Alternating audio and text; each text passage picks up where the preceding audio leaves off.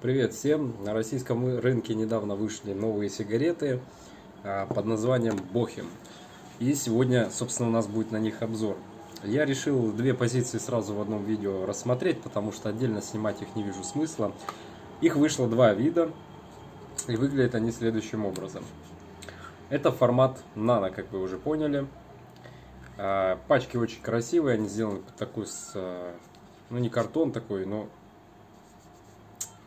как, бы, как будто бы он шершавый, но на самом деле он гладкий. Значит, э, тут написано Cigar Mini Bohem Original Blend. Сигаретки эти у нас вообще бренд этот корейский, южнокорейский. Но данные сигареты, как вы видите, акцизная марка России, они у нас сделаны в России. Я сейчас скажу. 20 супертонких да, и самое интересное, они их позиционируют как сигарилы. 20 супертонких сигарил с фильтром, изготовлено Kitty NJ Rus – Сделано в России, Калужская область. Деревня Добрина. Черт его знает. Что там за деревня такая, в которой такие сигареты делают. Ну, в общем, это именно не корейский э, вариант, а по лицензии просто выпускать. Ну, как Мальборо Филипп Моррис наш делает, да, как, который никакого отношения к американскому не имеет по, по качеству. Тут у нас сзади что написано. Оригинальное сочетание содержит 20% сигарных листов, подлинная сигарная бумага. Ну, это прям вообще что-то чем-то звучит, многообещающе. 20% сигарного листа.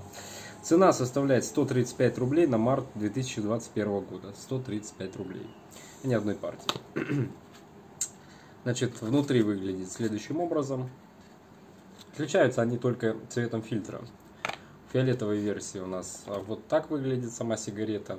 То есть здесь э, такой вот бежевый фильтр, красненькая с черненьким полоска на ободе и наименование бренда. Ну и обратите внимание, здесь, друзья, восстановленный табачный лист. Содержит ли он 20% сигарного табака, я что-то сомневаюсь. Но кто в такие сигареты дает за 135 рублей? Что, что это вообще звучит, конечно, бредово. Но это именно восстановленный табачный лист. Как в Капитан Блэк, как в Корсар. Я впервые в жизни вижу сигари, сигареты формата нано, спички, как я их называю, с таким, э, с покровником в виде восстановленного табака. Значит, набивка у сигарет, ну, такая вот, видите, в принципе, нормально. В чем, собственно, разница? Сейчас я вам покажу, как выглядят коричневые. То же самое, только фильтр здесь, видите, светло-зеленый, салатовый.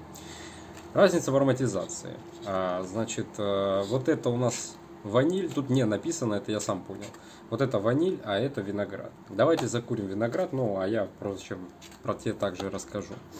Запах из пачки, кстати, приятный. Это ароматизированные сигареты, напоминаю. Пахнет виноградом, но э, пахнет так, сказать, интересно. Не так, как вот сенатор, например, виноградный. Будем его с ним сравнивать, э, который в таких же пачках маленьких.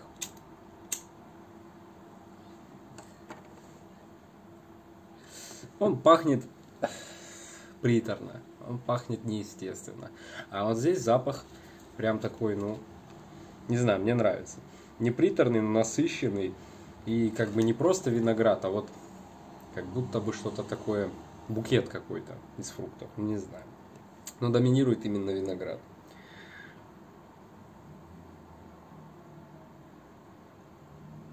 Запах дыма очень приятный, ароматный.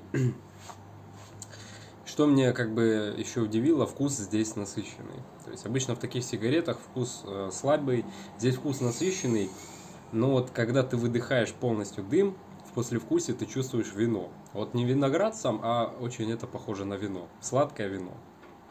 Это как бы интересно, потому что в сенаторе, например, вкус более пустой, и там, э, ну там тупо виноград, скажем так. А здесь как-то он более такой многогранный, больше на вино походит. То есть аромка здесь сделана реально качественно. Они очень мягкие, они легко проходят, они не раздражают слизистую, ни комков, ничего. У них есть только вот один существенный для меня минус. Это крепость. Ну, а что можно было ожидать от формата нано? Хотя бывают и сигареты в таком формате, которые, в принципе, накуривают. Но это не про них. По показателям, по ощущениям моим, здесь где-то 0,4-0,5 мг никотина. Крепость одинаковая у обоих версий.